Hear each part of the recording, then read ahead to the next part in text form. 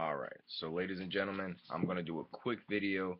I was at the Royal Rumble live tonight in Philadelphia. I just got back. Um, some breaking news. This is what I saw with my own eyes. Um, no, you know, wrestling websites have, have broke this down or anything. So this is this is me breaking it to you.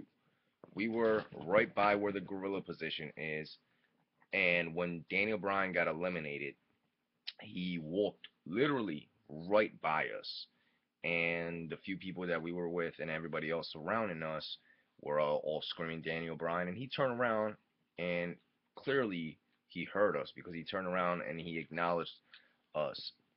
Although he when we said Daniel Bryan, he turned around and he looked super pissed. And I, when I say super pissed, I'm talking about Bret Hart Survivor Series 97 type of pissed. Um, and this isn't very typical of Daniel Bryan. We saw him, and you know everybody said, "Hey, hey, Daniel Bryan," you know this, then, and the third. And he turned around and he literally looked at us for about two or three seconds, with his hands on his hip. He just looked at us just like this, with a dead, dead blank look on his face, and turned around and didn't say a word, didn't acknowledge anybody else, didn't do a yes chant, didn't you know give a head nod, didn't do a salutation, nothing turned around, ignored everybody, and walked right out. So I'm not sure what happened. Um, the Rumble was very weird, so I would not be surprised if some kind of screw job or something happened because the dude he looked pissed, man. And I mean this. I'm I'm talking about, you know, forget all the kayfabe. He was pissed. You know, this is probably not more than 30 people around us saw this. So this wasn't for the camera or anything. This is just for people, you know, almost like behind the scenes. So this was very interesting. I thought I'd note this and uh, share it with you guys. Um, yeah, supposedly the the WWE subscription website for the cancellations has crashed down. That's how pissed people are. People are canceling left and right. Um, on other news, supposedly people are blocking the, the parking lot to the Wells Fargo Center and they're refusing to let some of the wrestlers out, which is very fucking weird. But hey, it is what it is. It's my city. Welcome to Philadelphia. Vince McMahon, you want to do a show in Philadelphia? Hey, man.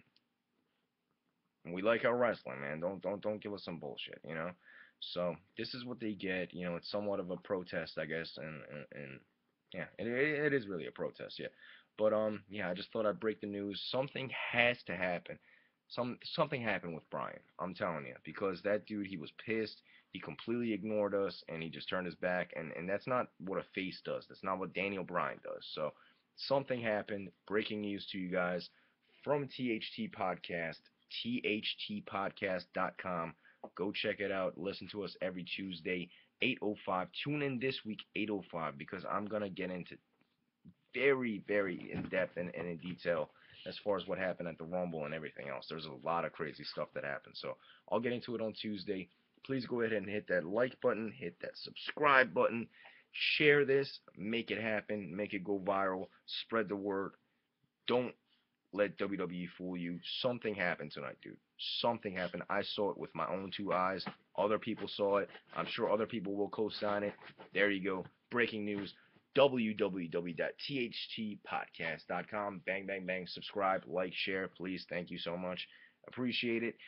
Great show tonight. Horrible ending. So, whatever. WWE, thank you. No, thank you. Goodbye.